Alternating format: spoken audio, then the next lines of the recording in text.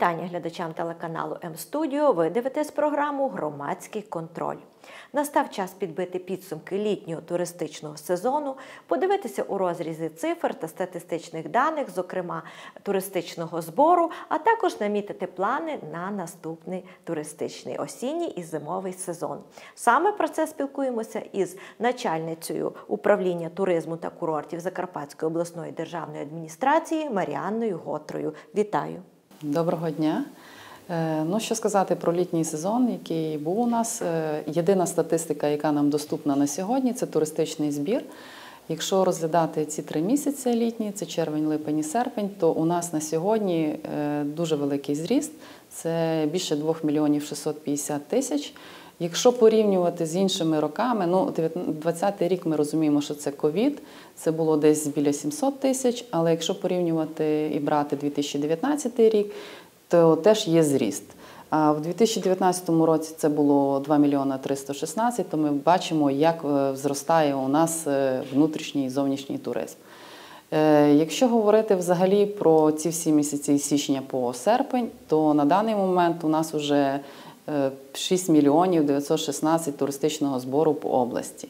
Що складається туристичний збір? Це в принципі це компетенція встановлювати цей податок в місцевих рад, тобто територіальних громад. Є такі громади, які взагалі його не встановили, тому це не повна картина того, що скільки туристів до нас зайшло. Крім того, туристичний збір вже ж не сплачують ті, які відряджені, але це все ж таки діловий може бути турист. Правильно не сплачують інваліди, ветерани війни. Там є е, перелік осіб, які не сплачують взагалі і цього збору в тому числі. Якщо дивитися по тому, що як у нас зростає, то е, ставки туристичного збору, да, звідки це береться взагалі, то у нас податковим кодексом передбачено для внутрішніх туристів 0,5 ставка, тобто мінімальна е, від мінімальної заробітної плати, а для для зовнішнього туриста це 5% від мінімальної заробітної плати. Але хочеться сказати, що знову ж таки ми порівнюємо 19 і 21 рік, але ж мінімальна заробітна плата зросла і тому відсоток зріс. Якщо в 2019 році 0,5 це було 20 гривень приблизно, так то вже в 2021 році це вже буде 30 гривень. Так само і для зовнішніх туристів 5% це було десь 208 гривень, так приблизно, то зараз це 300 гривень. А що стосується популярних напрямків туризму? Ну, У нас на даний момент е, п'ять туристичних магнітів, які офіційно у нас е, занесені в реєстр. Е, але багато яких є проєктів, які ми підтримуємо, як Закарпатська обласна державна адміністрація. Якщо ви чули, це Пізнаю Женську долину, це вітрина Закарпаття. Перед цим був Пізнай Ужгород, і дуже зараз йде по проєкту замки Закарпаття. Тобто багато таких проєктів, яких ми підтримуємо, щоб зробити більш якісний туристичний продукт і влити кошти для того, щоб розвивати туристичну інфраструктуру. Ми розуміємо, що турист змінився. Ми розуміємо, що це має бути якісний продукт. А для того, щоб це був якісний продукт в туризмі, то це мають бути і ремонтовані дороги, це мають бути нові готелі, має бути якісна надана послуга. І крім того, що дуже важливо, наш турист зараз настільки вибагливий, що ми мусимо подати якусь гастрономію, крафтову гастрономію, і зараз вона дуже великими темпами розвивається. І саме проект е, Вітрина Закарпаття. Е, відкриває такі страви, які були ще у нас у прапрапрадідів і прабабок. Тобто такі страви, що я сама дійсно не знала, що воно у нас таке є. Ну, Насправді це дуже цікаво, і ми хочемо, щоб ці всі продукти були е, доступні для туристів. Чи настільки от відрізняються вподобання туриста із е, України, тобто внутрішнього, і зовнішніх за кордоном? Ну насправді це піші туристи. Дуже багато є яких піших туристів, які йдуть до нас саме в Карпати в гори, тому що в нас гори е, лісівні, не голі. І тому, ну, якщо дивитися про туристичному потенціалу взагалі Закарпаття, то у нас крім моря є все, але зато у нас є озера. Якщо рахувати, що у нас є сім гір більше двох тисячників, Говерла, найвища точка України це у нас. Ну, Тобто є настільки потенціалу для того розвитку туризму і щоб турист зайшов. У нас, наприклад, є 12 замків, у нас 269 музеїв. Ви про це знали? Ну, з них 8 державних музеїв. Крім того, ми ж розуміємо, що це води термальні, мінеральні води, і крім того, навіть тепер є дослідження, що це прості води, які мають е, дуже хороші властивості з сріблом, з йодом і так далі. Тому такий потенціал гріх не використати у нас на Закарпатті саме. І визначено обласною владою, як і адміністрацією, і обласною радою, що це є пріоритетний напрямок розвитку Закарпаття, саме туризм. А як підтримує конкретніше от, е, обласна влада е, наш туризм? Ну, це, по-перше, завдяки великому будівництву зроблено більше 300 кілометрів якісних доріг. А ви розумієте, що це є основне, тому що саме сполучення до Закарпаття у нас е, було завжди проблемою, як залізничного, так і транспортного, так і авіасполучення. На даний момент ви знаєте, що у нас запущений літак. Він е, літає тричі на тиждень із Києва до Ужгорода.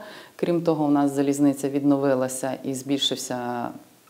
Саме зупинок збільшилося, і там навіть домовлялися, щоб був збільшений час, е, часовий проміжок в стоянки.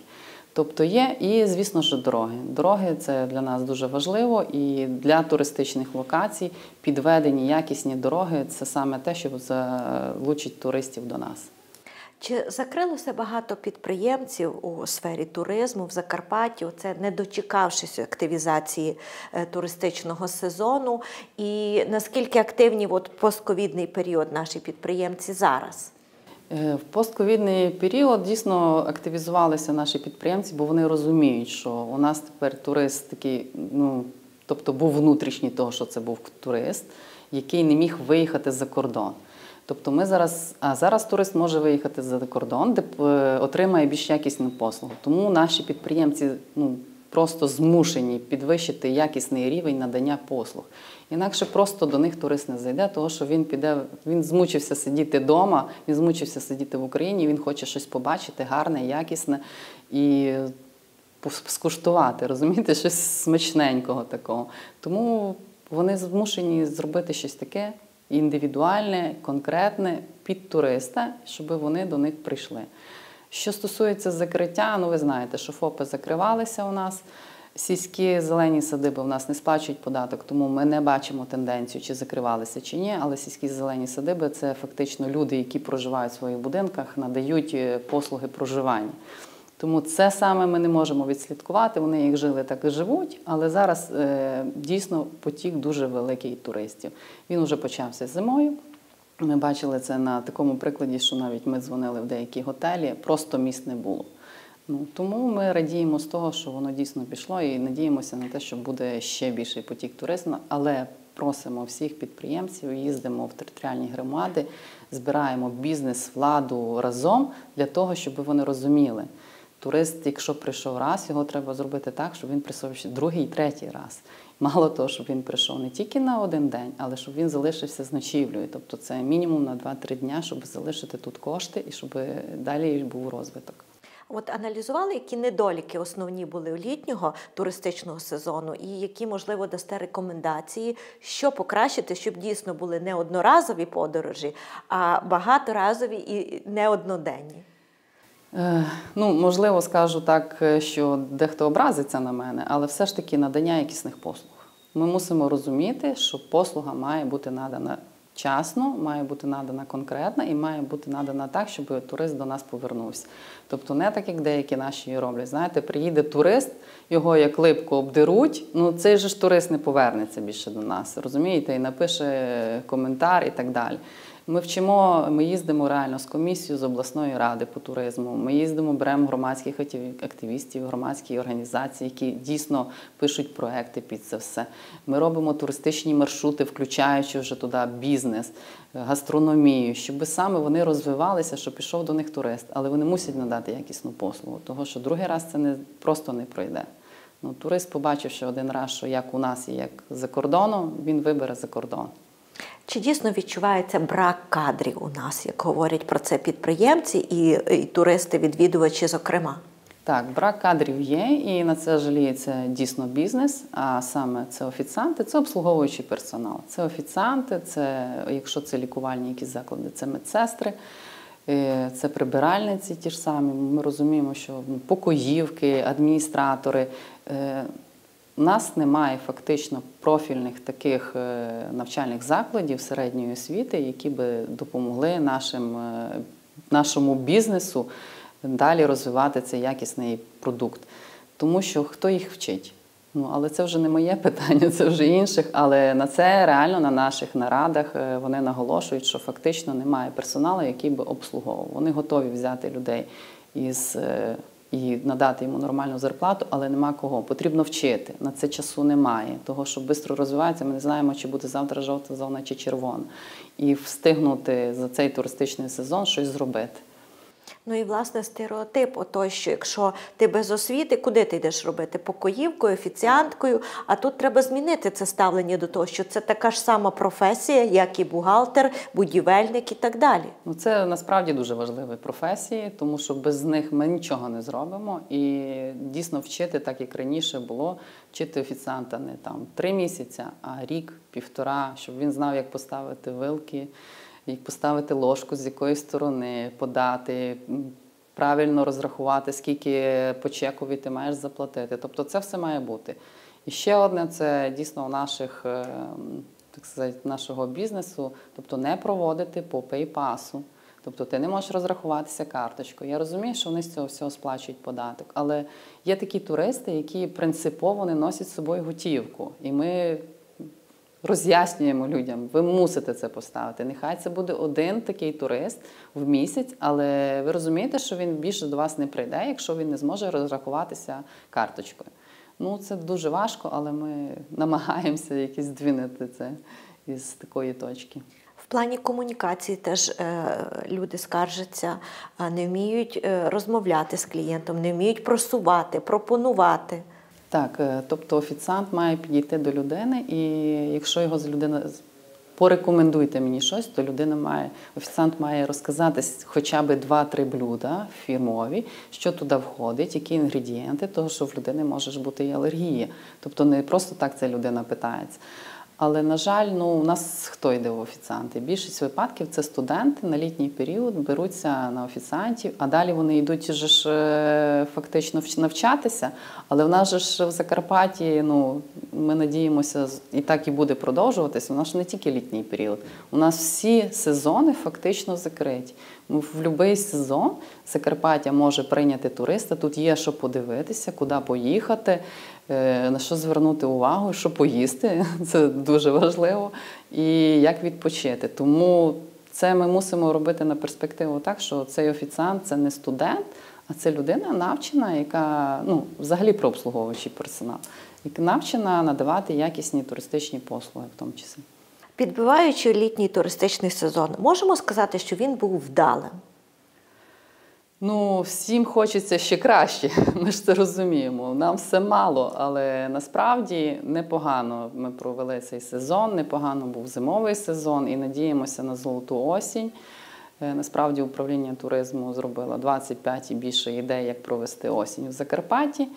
Е, на замовлення була зроблена стаття. Я думаю, що вона зараз буде розповсюджена в інтернеті, і ми надіємося реально, що зайдуть туристи. І зайдуть не тільки наші внутрішні туристи, але й зовнішні туристи, щоб побачити, як насправді у нас гарно.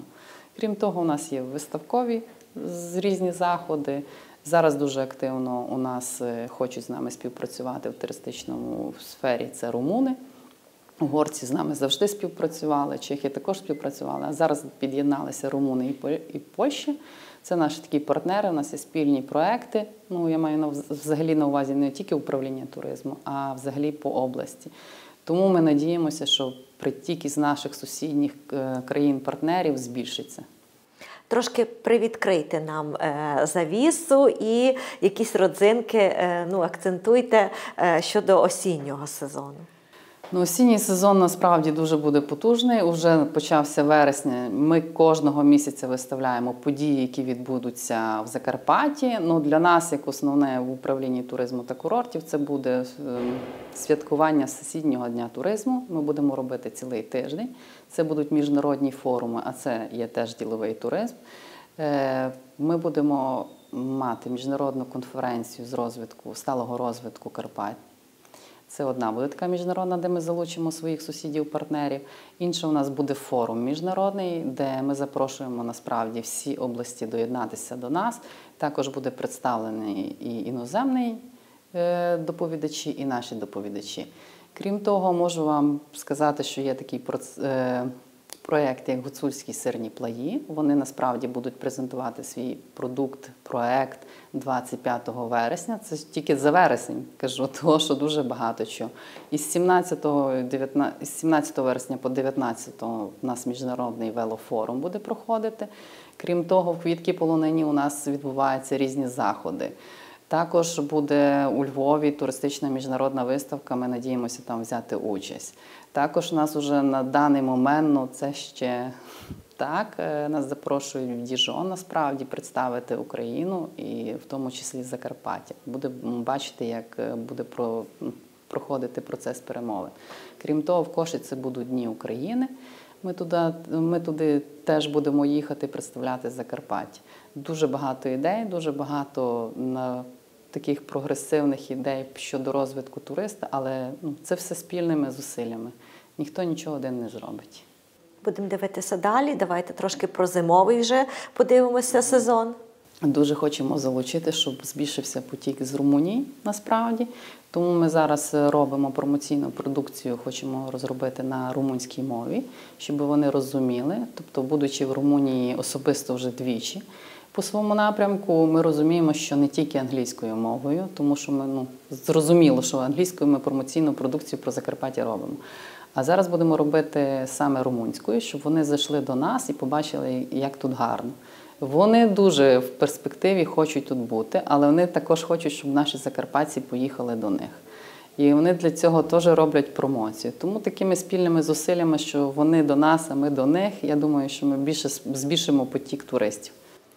Е, Промоція справді дуже важливий напрям туристичної діяльності. Розкажіть детальніше, що в цьому напрямку робиться в Закарпатті загалом.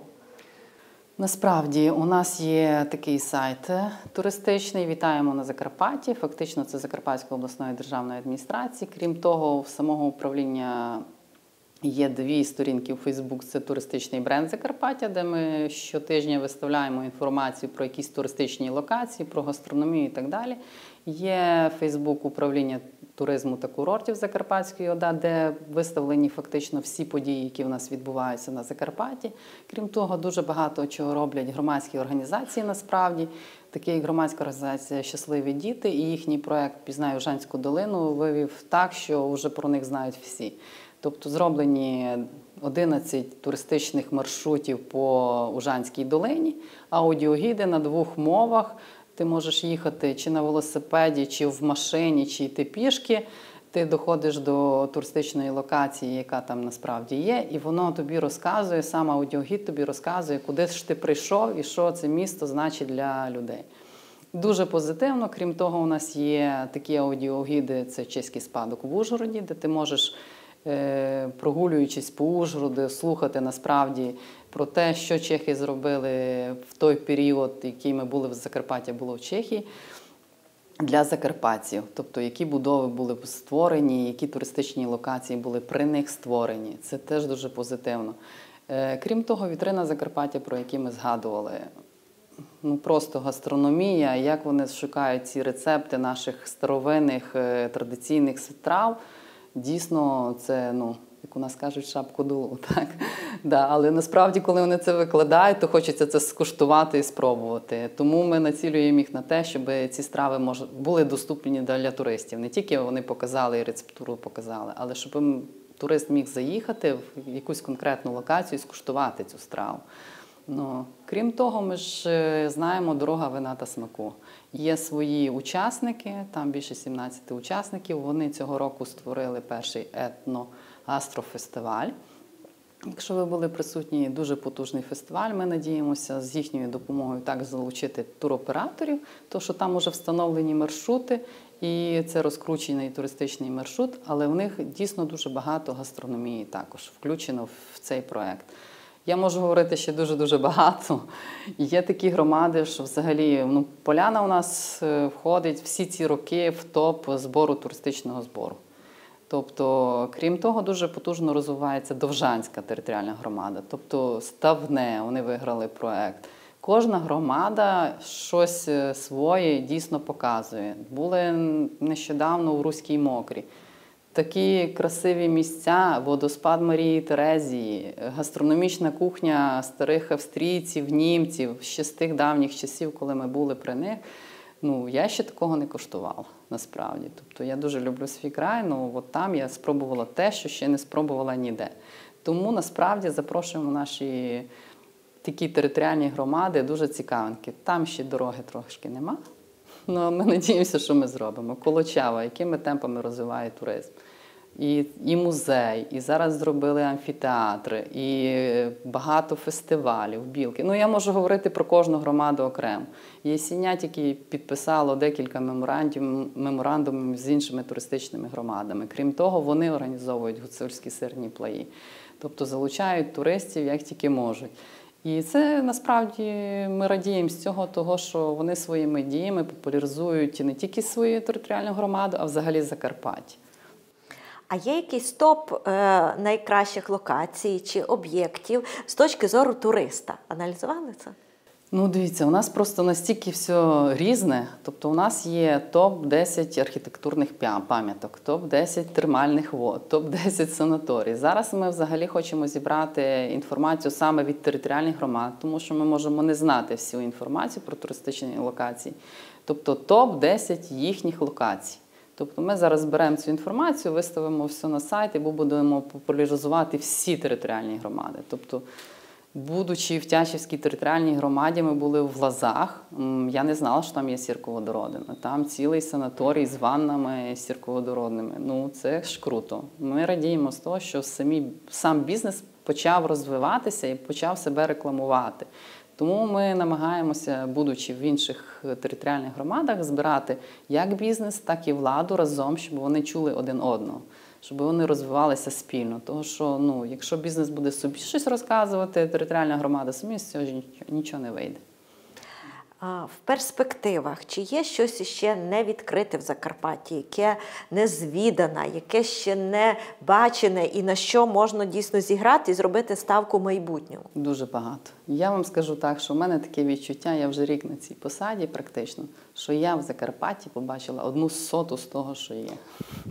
Тому я думаю, що всім є, що в Закарпатті зробити е, на різного туриста як на пішого, на зимового, на літнього, всіх сезонах, на лікувальне оздоровлення, тобто на всіх, які є, є Закарпаттю що показати. І насправді є такі туристичні локації, які ще невідомі, ну і які ще будуть відкриті. Ну, Насправді їх багато. Ну, справді туриста треба завжди дивувати чимось новим, цікавим, і дійсно в нас для цього все є, виявляється. Що ще треба для того, щоб все ж таки туризм дійсно е, допоміг е, Закарпаттю е, заробляти кошти на розвиток? Ну, ми розуміємо, що туристичний збір не всюди, все ж таки територіальними громадами затверджений. Тобто не всі територіальні громади на даний момент отримують цей податок. Ну, ми розуміємо, що був ковід, е, територіальні громади пішли на якісь поступки. Ну але з 63, 64 громад 19 не або не встановлені, або не збирають. Тобто, або це несвідомий бізнес, або територіальна громада дає все ж таки якусь можливість перехідний період для того, щоб бізнес встановився. Тобто цієї інформації наразі в управлінні туризму немає. Якісний туристичний продукт. Ми мусимо розуміти спільно. Територіальна громада мусить допомогти бізнесу, бізнес мусить змушений допомогти територіальній громаді. Інакше не буде. Як то кажуть, роботи не почати. Дуже край. багато. Да. Ну, Ми надіємося на тому, що і з вашою допомогою, журналістів, і з нашою ми будемо надалі давати промоцію Закарпаття. А фактично обов'язок територіальних громад і бізнесу, як я вважаю, просто підтримувати якісний рівень надання послуг. А ми зробимо все для того, щоб до них турист прийшов. Спільними зусиллями будемо лупати цю скалу, як то кажуть. 100%. Що ж, дякуємо вам за таку змістовну і цікаву розмову. А вам, глядачі, що були з нами. Ви дивилися програму Громадський контроль. Попереду ще багато цікавого.